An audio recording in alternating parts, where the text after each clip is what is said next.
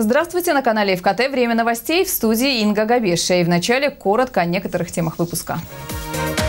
Быть или не быть, вопрос строительства съезда на шоссейной стал главным во время встречи жителей Хосты с главой города. Перешли незаконно границу из любопытства. В Сочи задержаны туристы из Перми, отдыхающие в Абхазии.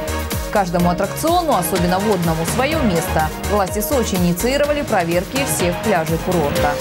2000 комплектов школьной формы вручили детям из семей в трудной жизненной ситуации. Лига женщин провела благотворительную акцию.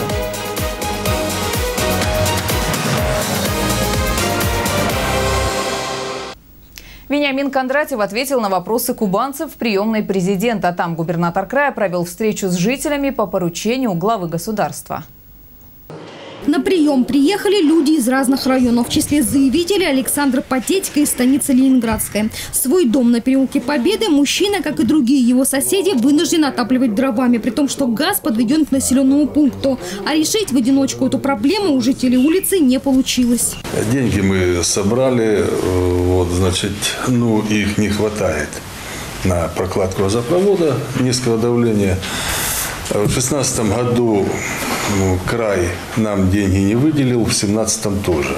Почему у нас э, в прошлом году, позапрошлом на эти цели деньги не были? Евгений мы дело в том, что в 2016 году нам выделяли э, по линии Министерства сельского хозяйства 10 миллионов на подводящий газопровод к поселку э, и звезда, мы его выполнили. Это в станице Ленинградской. Вот только в этом году есть такая возможность, и нам Министерство сельского хозяйства пошло навстречу, и в эти деньги выделяются. Мы и должны забывать про жизнь простых селян.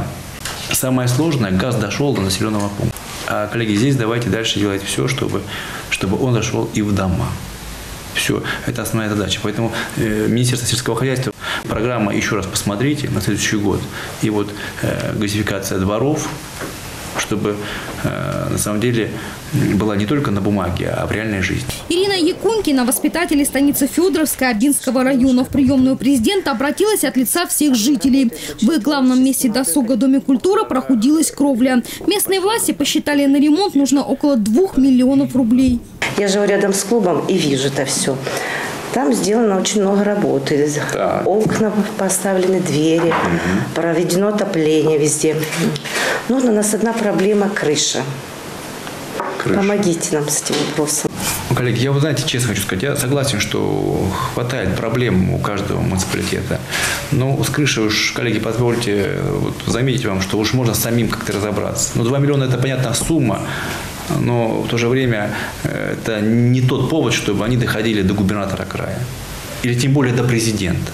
Ну уж можно 2 миллиона своими средствами как-то уже и изыскать. Вы правильно вопрос поднимаете. Угу. На самом деле небольшие деньги. Я э, уж понимаю, знаете, это хуже никуда, когда вот крышу перекрыть уже должен или губернатор, или президент. По заверениям местного главы, капитальный ремонт крыши подведут до ноября этого года. К этому же сроку должны достроить и модульную котельную в станице Тимижебекской. Об этом на приеме граждан узнала Светлана Сикорская из Кавказского района. А значит, у местных жителей горячая вода будет круглый год. А по просьбе Любовь Перепеча из хутора Гречанные Балки до конца этого года по поручению губернатора построят многофункциональную спортивную площадку. Елена Овсецина, телекомпания «ФКТ». Быть или не быть, вопрос строительства съезда на улице Шоссейная встал во время встречи жителей Хоста с главой Сочи. Сегодня Анатолий Пахомов приехал туда, чтобы разобраться в ситуации в микрорайоне «Звездочка». Подробности у Татьяны Говорковой. Желтый забор на улице Шоссейная появился меньше месяца назад, но возведение опорной стены для строительства съезда к строящемуся дому началось еще в 2015 году. По закону подъездной путь должен быть к каждому домовладению, но жители микрорайона «Звездочка» обеспокоены. Дело в том, что будущий съезд будет проложен по тротуару, который уже больше 30 лет связывает их дома с инфраструктурой. По этой дорожке ежедневно в школу, вот ежедневно ходит 800, более 800 детей микрорайона «Звездочка». Э, транспортного сообщения между Звездочкой Костой. Это школа, вокзалы, больница, а, не существует, да. Магаз... То есть у нас в Хосте, на... то есть вернее на Звездочке только магазин. Жительница дома на шоссейной 5А Лариса Манисова рассказывает еще об одной проблеме. Тротуар не освещается в вечернее время. Эта пешеходная зона никогда ранее не ремонтировалась. Для удобства жителей собственник строящегося домовладения уже проложил брусчатку. Кроме того, строители съезда утверждают, появятся фонари и безопасности жителей ничто угрожать не будет. Съезд носит локальный характер и 15 метров из почти полукилометровой зоны никак не сказывается на пешеходную доступность. Так ли это? Сегодня проверил глава города. Анатолий Пахомов объяснил жителям микрорайона «Звездочка» причину возведения съезда. Ситуация такова. Профсоюзы продали свою территорию. И эту территорию поделили на участки перед продажей. Это, а дальше, раз уже они продали, и у человека появилась земля, администрация обязана предоставить возможность прохода и проезда. Если этот проход и проезд будет территория даже общая, либо частная, то администрация обязана накладывать сервитут. Это же территория исключительно частная собственность. Тому доказательство и судебное решение. Несмотря на это, хозяин домовладения со своей стороны обеспечивает безопасность на пешеходной зоне. На данный момент другого варианта подъезда к стройке нет. То, что был по другую сторону дороги, по решению суда перекрыт хозяевами этого дома. Но жители считают это неправомерным, и дело находится на рассмотрении в краевом суде. Может быть решение суда. Какое оно будет, я не знаю. Оно будет, как только оно будет, э, а оно э, может проходить несколько инстанций. Если оно будет, мы сразу же можем сервитут наложить. И по всей вероятности его будем когда-то накладывать, если, потому что вот к этому зеленому дому, они говорят, тоже прохода нет. Вопросами правомерности перекрытия альтернативного проезда занимается прокуратура и суд. И до окончательного принятия решения строительство дополнительного съезда на шоссейной будет продолжаться. Татьяна Говоркова, Демид Даниловский, телекомпания «ФКТ». На Кубани появится спортивная школа-интернат. Об этом сегодня заявил Вениамин Кондратьев. Глава региона в канун Дня физкультурника встретился с мастерами спорта, выдающимися тренерами и преподавателями. Школу-интернат для будущих чемпионов планируют открыть в Краснодаре в районе баскет-холла и Ледового дворца. Жить там и заниматься различными видами спорта будут около 300 детей. Это будут лучшие из лучших, которых отберут со всего края. Как отметили на совещании, в регионе растет мода на здоровый образ жизни. Почти половина населения Кубани занимается физкультурой, а более 200 тысяч детей посещают спортивные секции. И со своей стороны краевая власть создает для этого все условия. Для нашего края э, спорт – это не просто приобщения молодежи к физической культуре. Это такая региональная идея. Она в том числе лежит и в основе молодежной политики в регионе. У нас не спорт ради спорта. У нас спорт должен быть образом жизни, потому что э, вот эта поговорка, которая была в моей юности, э, в здоровом теле здоровый дух. Вот сегодня здорового духа отчасти, может быть, и не хватает. Но, тем не менее, мы здесь э, с точки зрения спортивной подготовки не останавливаемся, особенно в части э, спорта э, общей доступности. Это для нас очень важно. Спорт высоких достижений, конечно, это, это гордость, это замечательно.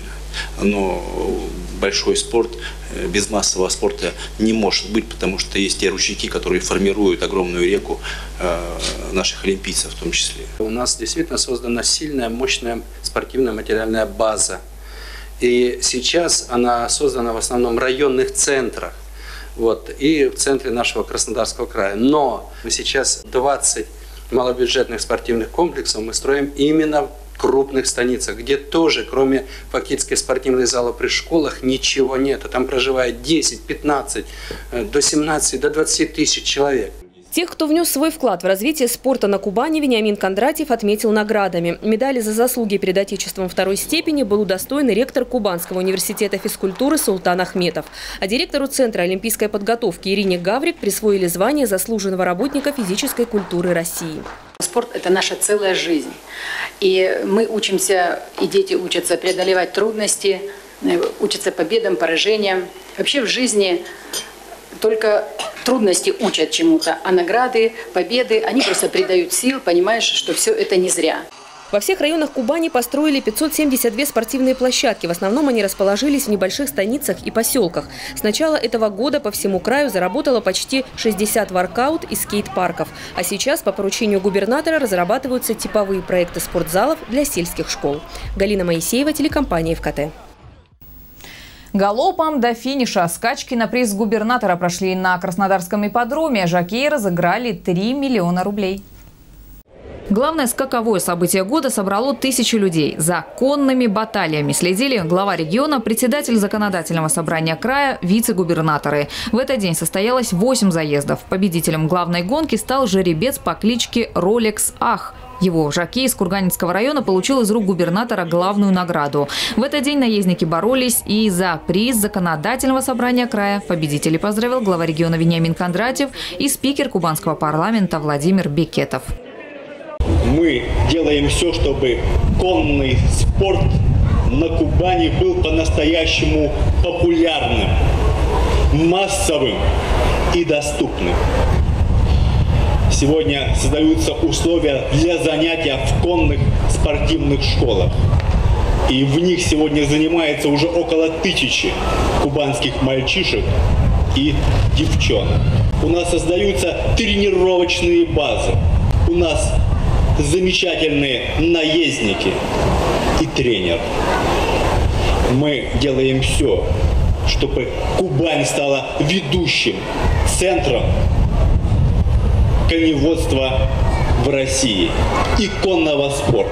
В мае 2005 года Законодательное собрание края приняло постановление о поддержке развития чистокровного конезаводства на территории Краснодарского края и учредили соответствующий приз. За эти годы у нас появились новые конюшни, новые замечательные конзаводы, много стало частных владельцев, много лошадей стало на дорожках ипподрома, и вам, нам, всем здесь присутствующим очень интересно стало смотреть на эти соревнования. Скачки переурочили к предстоящему юбилею 80-летию Краснодарского края. Эта тема легла и в основу театрализованной постановки. Для зрителей выступили лучшие творческие коллективы города и уже по традиции прошел конкурс дамских шляпок. К другим новостям. Пограничники в Сочи задержали двоих туристов из Пермской области, которые из любопытства перешли российско-абхазскую границу. Мужчины приехали на отдых в Абхазию со своими семьями. В один из дней отцы семейства отправились изучать окрестности приграничного поселка Гячрипши и вышли к берегу реки Псоу. Один из мужчин предложил перейти горную реку и посмотреть, как выглядит морское побережье на той стороне. Энтузиазм пермяков поубавился, когда к ним навстречу вышли российские пограничники. Сотрудники краевого погрануправления объяснили нарушителям, что они только что незаконно пересекли государственную границу Российской Федерации. Мужчин задержали. Туристы привлечены к административной ответственности за нарушение режима госграницы. Обоим назначены административные штрафы. Накануне поздно ночью в Сочи сгорели сразу три машины. Информация об этом появилась на одном из сочинских блогов. На видеозаписи, которую сделал один из очевидцев, видно, как полыхает автомобиль. Все происходит на улице Ленина в Адлере. На кадрах виден лишь один автомобиль, но, как сообщают очевидцы, выгорело две машины на Ленина и еще одна на Голубых Далях. И все это в одну ночь. Прибывшие на место пожарные потушили огонь, но, как видно, на этом фото автомобили выгорели полностью и восстановлению не подлежат. Также автор видео подчеркнул, что все сгоревшие машины с иногородними номерами.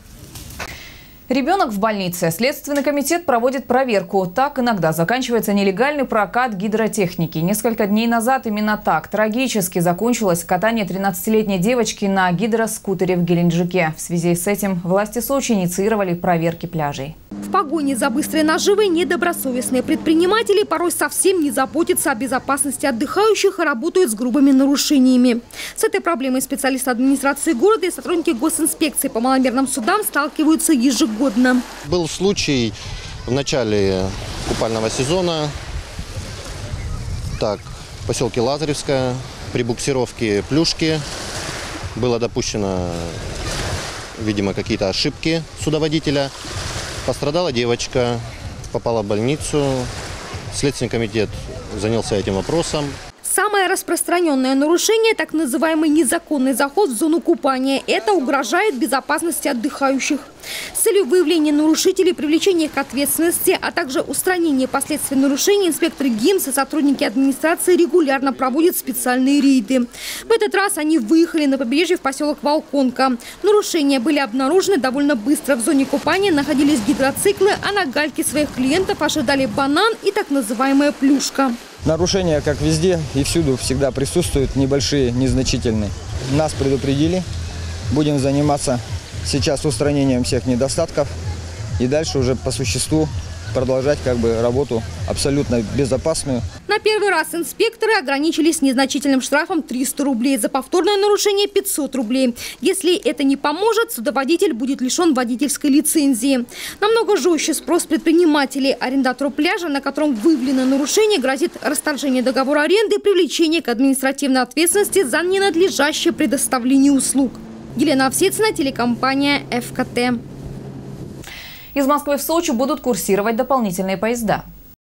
Для обеспечения комфортного возвращения отдыхающих с курортов Черноморского побережья с 19 по 31 августа назначены дополнительные поезда. Направления Москва, Санкт-Петербург и Киров. Подробную информацию о графике движения поездов можно получить на сайте РЖД в разделе «Пассажирам» и по круглосуточному телефону Единого информационного центра 8 800 775 400. Сочи поздравили строителей и представителей этой профессии. По традиции, вот уже более полувека во второе воскресенье августа отмечают свой профессиональный праздник. Строители чествовали в зале органа и камерной музыки. Ну а наиболее отличившиеся получили благодарность от руководства курорта. В зале представители, как ее часто называют, самой мирной из всех профессий – строители, архитекторы, подрядчики, инженеры, рабочие. Сегодня они принимали поздравления от руководства города. Отличившиеся представители отрасли получили благодарственные письма за труд на благо города.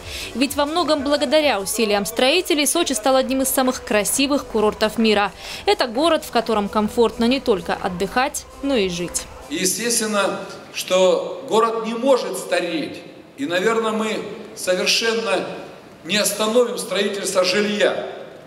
Но точечного жилья точно не будет. И тому, чтобы сегодня строить, нужно идти по пути, который мы уже пошли. Это создание проекта планировки территории. За последние годы, наряду со строительством олимпийских объектов, у нас активизировалась работа по строительству социальных объектов. Социальных объектов действительно построено за последние годы очень много. А больницы, школы, спортивные площадки, детские сады. Так, например, 1 сентября откроется школа и детсад в Верхней Беранде. Строится детский сад и в ЛАО, а также в Совет Квадже. В этом году будет сдан блок для начальной школы на 400 мест на территории школы номер 100 в Адлере. Кстати, доверяют такое строительство только самым ответственным компаниям, на счету которых не один соцобъект. Для строителей граждан строительство – это очень ответственно. Потому что если мы что-то строим, в первую очередь мы думаем, что там будут люди, дети, пожилые. Тем более сейчас у нас школа, это начальная школа до 4 класса. Продолжается и строительство новых квартир для переселенцев из ветхого фонда. Заветные квадратные метры по итогам нескольких лет получили около тысячи сочинцев. Дома строятся самого высокого качества, а это значит послужат не одному поколению сочинцев. Весь объем полностью за три года выполнено именно нашей компанией. Сейчас мы э, приступаем э, к строительству детского сада и э, э, процессе мы выделяли э, квартиры ветеранам Великой Отечественной войны. Также большое внимание в Сочи продолжают уделять объектам спортивной инфраструктуры, ремонту дорог, строительству новых детских площадок, газоснабжению и прокладке ливневых коммуникаций. Ну а что касается соцобъектов, то темпы город не намерен сбавлять. На следующий год запланировано строительство еще четырех школ и стольких же детских садов. Ольга Десятого, Николай Тихонов, телекомпания «ФКТ». Благотворительная акция прошла в Сочи накануне. Назвали ее «Полет добра и детства». Детям из семей, находящихся в трудной жизненной ситуации, вручили 2000 комплектов школьной формы. В эти дни подготовка к предстоящему учебному году в самом разгаре. По уже сложившейся традиции городская общественная организация «Лига женщин Мост Добра» оказывает поддержку тем, для кого в силу разных жизненных причин новая школьная форма не по карману. Очередная акция проходила в творческой атмосфере. В Зимнем театре была организована выставка работ учащихся сочинских школ искусств городе Сочи все-таки творчество у нас очень хорошо развито, и у нас хорошие преподаватели, которые занимаются с детками, причем это же все дошкольное и внеклассное образование, то есть это дети ходят бесплатно, занимаются, и у них уже так, такие достижения, это очень приятно. Форму вручали во время концерта. Организаторы учли и то важное обстоятельство, что практически в каждой школе своя форма. Школьники вместе со сказочными героями участвовали в дефиле под известные детские песни, которые исполнил автор-композитор Григорий Гладков. Все посвящено тому, что взрослые и дети вместе. Посвящено идее того, что взрослые ответственны за детей.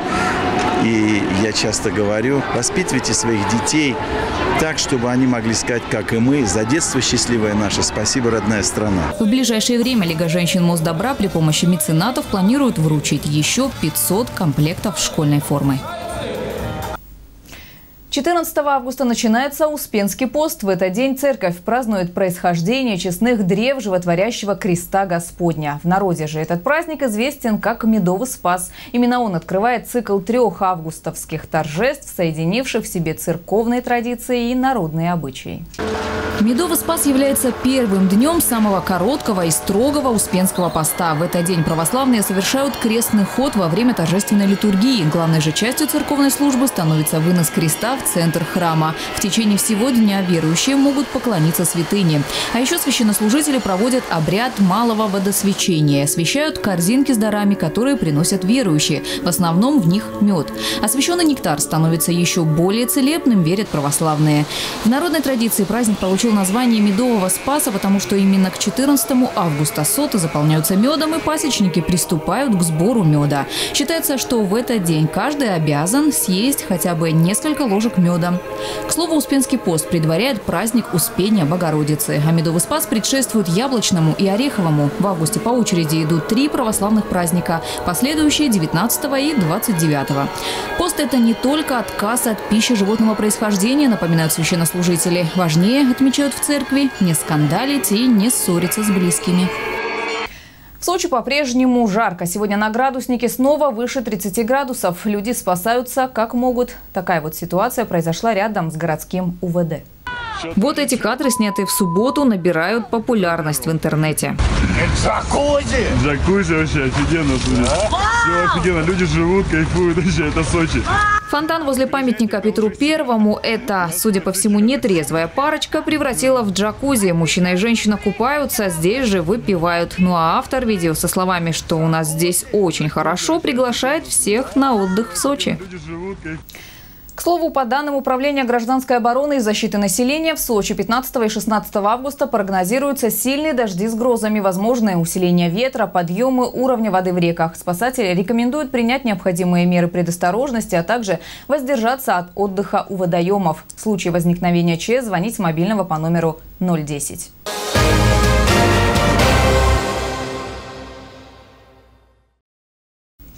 Километр прямо вверх. В Сочи пройдут соревнования по скайранингу. Спортсмены со всей России соберутся на курорте, чтобы покорить вертикальный километр. Этап Кубка России по скайранингу пройдет на курорте «Роза Хутор» 2 сентября. Организаторами соревнований выступают Федерация альпинизма России Краснодарского края совместно со спортивным клубом «Сочи». Участникам предстоит преодолеть дистанцию в 5 километров с перепадом высоты 1 километр. Состязания пройдут в нескольких категориях от 14 до 44 лет и от 45 лет и старше. Также предусмотрены специальные семейные старты для родителей с детьми в возрасте до 13 лет. Для того, чтобы стать участником соревнований необходимо до полудня 1 сентября пройти регистрацию на сайте или зарегистрироваться до 8.30 утра на «Роза Хутор» в день проведения стартов. И в завершении информации от наших партнеров. Во всех филиалах стоматологической клиники «Вале Денталь» весь август проходит акция имплантации и протезирования за один день 17 тысяч рублей. Улица Чайковского, 3. Центр доктора Бубновского в Сочи поможет вернуть здоровье позвоночнику и суставам. Индивидуальные программы, врачебный контроль и сопровождение специалистами. Ну а все новости уже на нашем сайте fkt.com. В студии была Инга Габешия. Спасибо за внимание и до встречи в эфире.